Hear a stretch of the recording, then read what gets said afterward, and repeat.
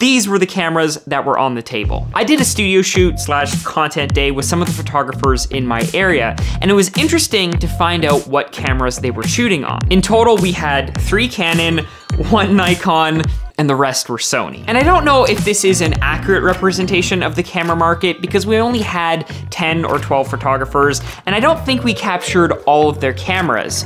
But